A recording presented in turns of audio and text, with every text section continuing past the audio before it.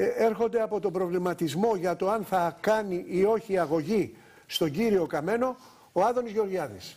Ε, εδώ μας ενημερώνει ότι επειδή τον αποκάλεσε φασισταριό, α, αυτό είπε ο κύριος Καμένος, Ναι, τα έτσι. φασισταριά τα οποία έχει μαζέψει ο κύριος Μητσοτάκης και αναφέρθηκε στον κύριο ο, Γεωργιάδη και στον κύριο Βορύδη. Ένα φασισταριό το έχουμε εδώ. Καλημέρα κύριε Βορύδη. Καλημέρα, καλημέρα. Να ξεκινήσουμε καλή, από αυτό. Καλή επιτυχία. Να είστε καλά. Να ξεκινήσουμε από αυτό.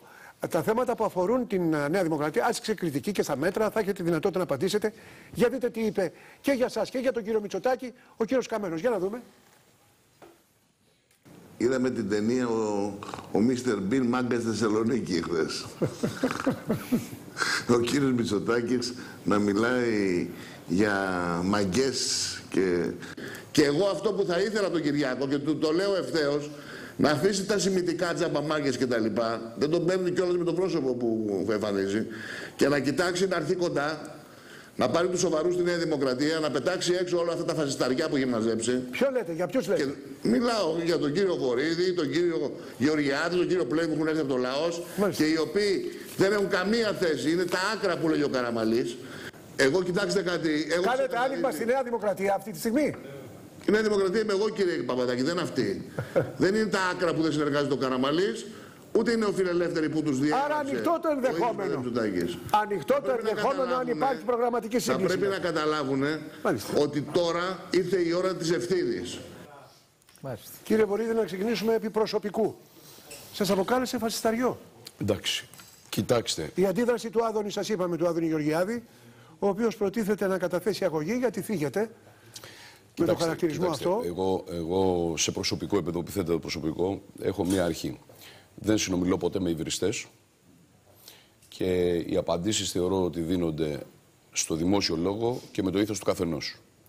Ειδικά με τον κύριο Καμένο, πρέπει να πω ότι υπάρχει η εκκρεμής αντιδικία, η οποία έχει φτάσει στα δικαστήρια, στην οποία ο κύριος Καμένος έχει καταδικαστεί σε αστική αποζημίωση, σε πρώτο βαθμό, για Ξεκίνησε πάλι από αυτή την εκπομπή; συκοφαντική δυσφήμισή μου σε δηλώσεις που έκανε στην εκπομπή σας παλιότερα ε, και η οποία μάλιστα θα εκδικαστεί νομίζω αυτές τις μέρες ε, μέσα στο, μέσα στο επόμενο χρονικό διάστημα σε δεύτερο βαθμό στο εφετείο. Λοιπόν, ε, και η οποία προφανώς τον έχει καταδικάσει για συκοφαντική δυσφήμιση. Άρα, ε, εγώ τώρα με τον κύριο Καμένο διάλογο σε αυτό το επίπεδο δεν έχω. Είπε βέβαια είναι, ότι- είναι, είναι, σας ξαναλέω, ένας άνθρωπος ο οποίος υβρίζει, υβρίζει τον πρόεδρο της Νέας Δημοκρατίας, υβρίζει τα στελέχη της Νέας Δημοκρατίας και το μόνο το οποίο θεωρώ ότι αξίζει να σχολιαστεί είναι το καθεστώς της παραλυρματικής κατάστασης στην οποία βρίσκεται. Διότι αν κάποιος νομίζει και έρχεται και λέει ότι η Νέα Δημοκρατία είμαι εγώ, ή όταν παραδείγματος χάρη τον ακούω όλο αυτό το τελευταίο διάστημα να επικαλείται τον Καραμαλή, Και ερμήνευσε και τη δήλωση Καραμαλής στη Θεσσαλονίκη. Ε, τα ακούω, γι' αυτό σας ότι λέω. δεν ήταν δήλωση Παραλυρηματικό. στήριξης στον Κυριάκο Μητσοτάκη. Παραλυρηματικό. Αλλά- Λοιπόν, προσέξτε, βγαίνουν λοιπόν όλο αυτό το χρονικό διάστημα και προσπαθούν να εμφανίσουν την διάσταση που υποτίθεται Καραμαλή με τη Νέα Δημοκρατία. Με το Μητσοτάκη, με την πολιτική γραμμή της Νέας Δημοκρατίας. Και μάλιστα δέχτηκε μια κριτική ο Κώστας ο Καραμαλής, μα καλά γιατί δεν μιλάει. Βγήκε λοιπόν ο άνθρωπος έξω από τη ΔΕΘ, που είναι η ΔΕΘ η τελευταία πριν τις εκλογές, που εμείς εκτιμάμε εκλογές που θα κάνουν πρωθυπουργό τον Κυριάκο Μητσοτάκη, έξω από τη ΔΕΘ βγήκε και λείπει. Είμαστε όλοι εδώ ενωμένοι για να στηρίξουμε την εκλογική νίκη της παράταξης, προφανώς υπέρ της πολιτικής ενίσχυσης των αδυνάμων. Εδώ δεν νομίζω ότι υπάρχει πιο καθαρή δήλωση από αυτή. Υπάρχει κάτι περισσότερο να υποθεί. Έρχονται λοιπόν, γιατί καταραίει και αυτή η προσπάθεια ουσιαστικά διαιρέσεως, γιατί το μόνο το οποίο έχει μείνει στον κύριο Τσίπρα, επειδή καταραίει σε όλα τα επίπεδα, είναι να προσπαθήσει να μογλεύσει σενάρια διαιρέσεως της Νέας Δημοκρατίας. Βορυδή. Καταραίει λοιπόν γι' αυτό και τώρα έχουμε το παραλήρημα του κυρίου Καμένου, ο οποίος θεωρεί ότι αυτός είναι η Νέα Δημοκρατία. Δεν είναι ο Καραμαλής, δεν είναι ο Μητσοτάκης, δεν είναι ο Σαμαράς, είναι ο Καμένος η Νέας Έχω μπερδευτεί Δημοκρατία. και θέλω- Ο οποίος συνεργάζεται, το τονίζω αυτό, με την κυβέρνηση τη συγκεκριμένη. Έχει στηρίξει αυτός, αναρωτιέμαι, από ποια σκοπιά και με ποιες αρχές τη συγκεκριμένη κυβέρνηση για να αποφυλακίζει εγκληματίες, για να φέρνει τους νόμους Παρασκευόπουλου και Κοντονή για να δίνει άδειες του Κοφοντίνα, κυρίως και πρωτίστως για να υπογράψει, γιατί αυτή η υπογραφή έγινε με την έγκριση του κυρίου Καμένου, για να υπογράψει τη συμφωνία με τα Σκόπια. Και λέω με την έγκριση του κυρίου Καμένου, γιατί αν δεν του άρεσε, μπορούσε να έχει ψηφίσει την πρόταση μορφής. Το ρώτησε αυτό. Γιατί Πάνω αν σε δεν, αυτό του το ρώτησα. άρεσε, αν δεν του άρεσε, κύριε Παπαδάκη, μπορούσε να έχει κάνει ακα- κάτι ακόμα πιο απλό. Μπορούσε να είχε πάει και να πει, εγώ, επειδή διαφωνώ με αυτό, αποσύρω την εμπιστοσύνη μου. Είπε βέβαια ότι όταν θα έρθει η προσκύρωση Καλά. η συμφωνία στη Βουλή, πριν φτάσει στη διαδικασία την κοινοβουλευτική, θα πάει στο πρόεδρο της Δημοκρατίας και είπε ότι Εσείς αποσύρω... βγάζετε πολιτικό νόημα από αυτά; Γιατί εγώ δεν βγάζω πολιτικό νόημα. Ακούστε, έχω κάνει σε κυβέρνηση συνεργασίας. Υπήρξα υπουργός σε κυβέρνηση συνεργασίας. Για ζητήματα ίσονος σημασίας, όχι τέτοια, αυτό είναι κορυφαίο ζήτημα εξωτερικής πολιτικής. Το θέμα του Σκοπιανού. Για ζητήματα ίσονος σημασίας, μαζεύονταν τα κόμματα και παρουσίαζαν ενιαία γραμμή στο κοινοβούλιο. Δεν υπήρχε περίπτωση και όταν υπήρξε τέτοιου είδους διαφωνία, θυμάστε πότε, στην ΕΡΤ, το κόμμα το οποίο διαφώνησε αποχώρησε από τον κυβερνητικό συνασπισμό. Μιλώ για τη Δημάρ. Για τη Δημάρ. Προσέξτε, αυτό εδώ το κομικό, κομικό τραγικό, τραγελαφικό, τραγικό, όπου σε κορυφαίο ζήτημα διαφωνείς, αλλά αφήνεις να τεθεί υπογραφή, αφήνεις να προχωράει η διανταξιακή διαδικασία των Σκοπίων στο ΝΑΤΟ, αφήνεις να προχωρούν όλες τις διεργασίες και λες ότι αφού γίνει όλο αυτό, εν συνεχεία εγώ αυτό θα το σταματήσω.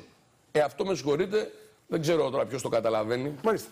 Έχω μπερδευτεί και θέλω να μου βοηθήσετε λιγάκι, κύριε Βορύδη. Εσείς λέτε ότι από τα μνημόνια δεν βγήκαμε. Έτσι. Δεν έχουμε βγει από τα μνημόνια. Σε έξι μήνες, αν είσαστε εσείς κυβέρνηση και εφαρμόσετε όλα αυτά που ακούσαμε από τον Κυριάκο Μητσοτάκη χτες και προχτές στη Θεσσαλονίκη, θα έχουμε βγει από τα μνημόνια.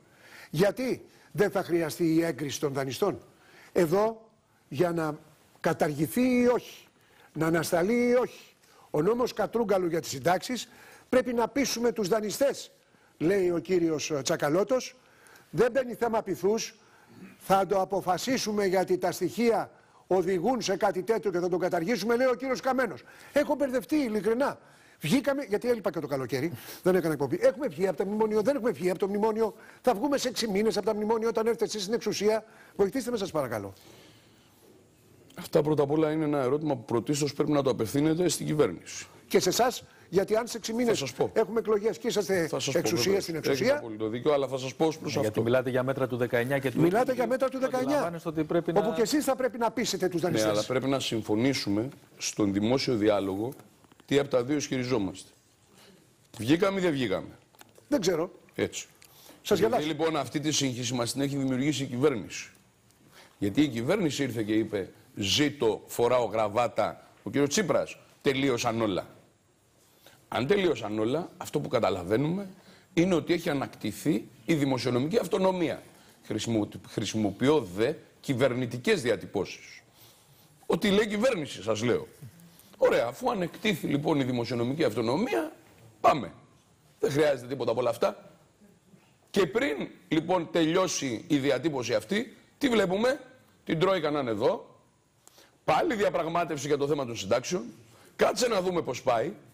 Αυτή η φοβερή χρήση του πρακτορείου προκειμένου να διακινήσει ψευδείς ειδήσεις ότι δήθεν συνήνεσαν για να εισπραχθεί επιτόπου η αντίδραση της Κομισιόν. Άρα είδατε εσείς καμιά μεγάλη διαφορά από το προηγούμενο Πάντως, Η τοπίο. εποπτεία θα συνεχίσει να είναι εδώ αν είστε και εσείς επόμενη κυβέρνηση. Αν Σωστά. αποφασίσει ο κόσμος να είστε εσείς Ναι, ναι, ναι. κυβέρνηση, Δεν άρα σταματάει. δεν θα μπορεί Άρα, εσείς λοιπόν, να. Άρα στα Πρώτο μνημόνια, και θα, στα σημαντικό. μνημόνια θα είμαστε και με εσά. Άρα λοιπόν πρώτο και σημαντικό. Εκείνο το οποίο τελείωσε είναι η χρηματοδότηση της Ελλάδος από τον μηχανισμό στήριξης. Αυτό τελείωσε. Εσείς πώς θα καταργήσετε το όνομα Θα Κατρούγκαλου. πάμε τώρα στο εμείς. Όχι, επειδή το πάτε από τη μία, αλλά Θα πρέπει να πάμε πάτε τώρα από στο την άλλη εμείς. Θα πάμε στο εμείς. Όχι να συμφωνήσουμε όμως, να βάλουμε το πεδίο. Γιατί δεν μπορεί να λέγονται όλα ταυτοχρόνως. Να βάλουμε το πεδίο. Τελείωσε λοιπόν ο χρηματοδοτικός μηχανισμός, η χρηματοδότηση από το μηχανισμό στήριξης. Αυτό τελείωσε. Χωρίς όμως να έχει τελειώσει η εποπτεία. Η εποπτεία παραμένει. Όπως και οι μνημονιακές δεσμεύσεις παραμένουν. Και επί των ημερών σας. Βεβαίως. Άρα λοιπόν δεσμεύουν τη χώρα αυτά. Άρα λοιπόν, ποια είναι η λύση και η δυνατότητα για να έρθω στην απάντηση που σας δίνω κύριε Παπαδάκη στο ερώτημά σας. Τι ισχύει για μας, τι είπε ο Κυριάκος. Ο Κυριάκος είπε ότι εμείς εκείνο το οποίο θα επιτύχουμε, εκείνο το οποίο δεσμευόμαστε, αυτό πάνω στο οποίο θα κριθούμε, είναι οι ρυθμοί ανάπτυξης.